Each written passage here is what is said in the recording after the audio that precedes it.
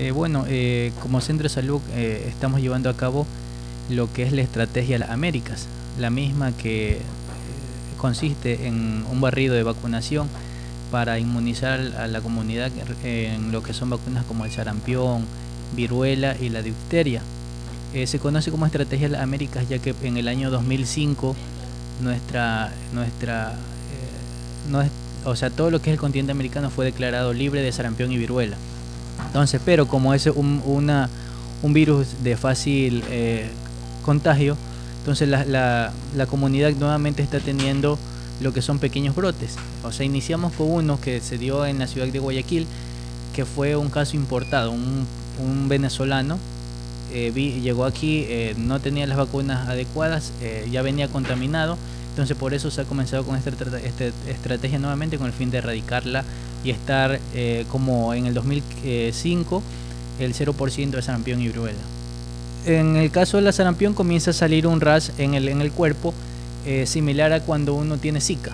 Entonces nosotros cuando tenemos ese tipo de pacientes eh, cuya información ya se la di a, todo los, al personal de la unidad, llegan aquí, le enviamos a hacer un examen a Guayaquil que es un diagnóstico en donde se le va a hacer el diagnóstico de Zika, vale la redundancia, y de sarampión. O sea, le hacemos dos estudios a la vez para ver, eh, para descartar la enfermedad.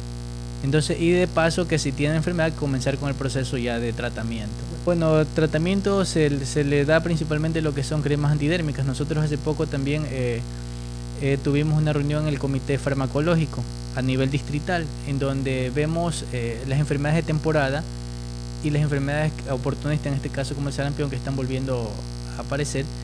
Eh, y en eso eh, hacemos lo que son compras de fármacos. Entonces eh, se, ha, se, ha, hecho compras para lo que fue el proceso conjuntivitis, que bueno, eso también son cosas de los proveedores. Lastimosamente tuvimos la temporada, pero no, no, el proveedor no hizo llegar nunca.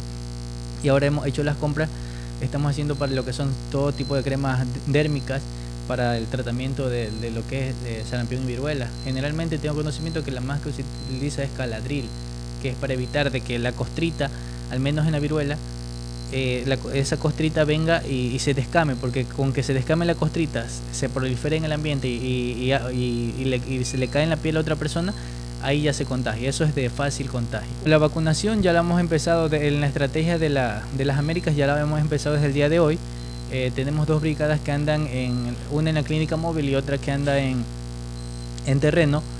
Eh, está, si van por los recintos de poco acceso, en este caso de, de, Matapalo y eso, pero iniciando el mes, que ya es la semana que viene, eh, el día martes que iniciamos labores, lo primero que hacemos es elaborar un cronograma para lo que es el proceso de vacunación. Entonces, para que tenga determinado tal día van a tal barrio, entonces la gente se puede encontrar.